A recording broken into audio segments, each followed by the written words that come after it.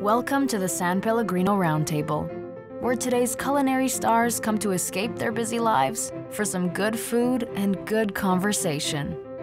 One of my favorite things is inviting cooks to come to Newfoundland and, and seeing how they interpret the lay of the land. It's a beautiful, magical place, and obviously uh, I draw a lot of inspiration from taking walks in the woods and just spending time out fishing and just being around your ingredients and being able to bring those to the table.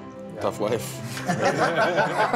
I cook with people with much more experience than me. I always learn from them, Yeah. watching them what to do or sometimes what not to do.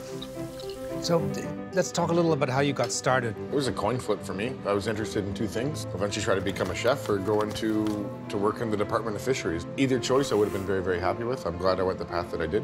You must have a sense that your style of cooking has expanded beyond your own restaurant. I, I can't honestly say. I think about it. It's head down, keep our own house in order, and if somebody wants to, to take inspiration or emulate what we do, well, it's uh, it's flattering.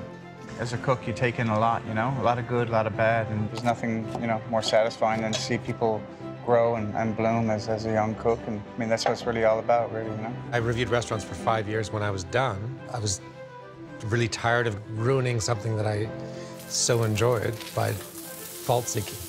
As, as like chef is like you're looking for all the issues that are maybe not adequate in, in what you're doing. And you spend so much time in a restaurant all week long, you're gonna have the opportunity to go out and eat in, in a beautiful place like this where we are right now. And and the last thing I want to do is judge. I just want to go in there and enjoy my experience with whoever I'm dining with. Look at us right now, we're all sitting down together. How often do you actually sit down and have a meal, you know? And, and uh, I mean, I'm so thankful for somebody to cook a meal for me. Thank you for coming to Alo. Come back soon. Great to Thank be you here. for having us.